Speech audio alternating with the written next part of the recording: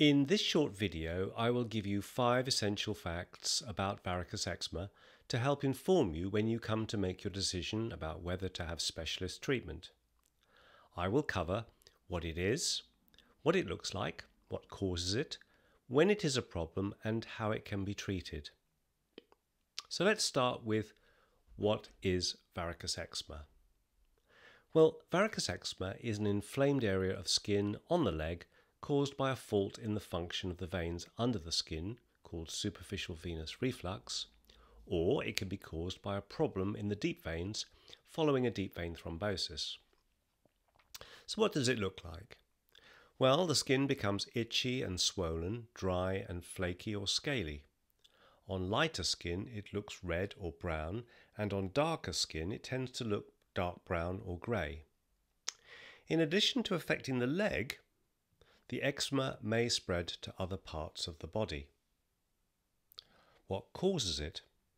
Well, unhealthy leg veins have a serious negative impact on blood flow and nourishment to the skin of the leg, which then becomes inflamed and damaged, a medical problem called chronic venous insufficiency.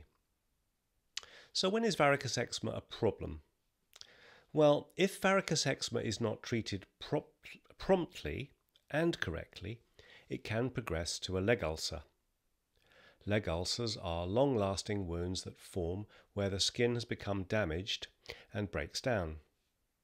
In my opinion, everyone with varicose eczema should be referred for specialist advice. And if the eczema starts to weep or discharge, then urgent medical advice should be sought.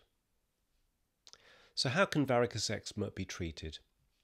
Well, in the short term and in the early stages, you can manage varicose eczema yourself by keeping active and elevating the affected leg. Under the advice of a healthcare professional, and in the absence of other health conditions such as diabetes or artery disease, good quality medical grade compression socks should be worn during the day, and the skin should be moisturized after taking the sock off before going to bed. Usually, these measures will relieve symptoms and reduce the risk of the eczema deteriorating to the point of a leg ulcer. Now, if itch or other symptoms are particularly troublesome, then steroid creams or ointments may be used for a short period. But for a longer lasting solution, a vein scan and the advice of a vein specialist should be sought to fix the underlying vein problem. Nowadays, vein treatments for varicose eczema can be carried out safely under local anaesthetic as a walk in, walk out, non invasive procedure.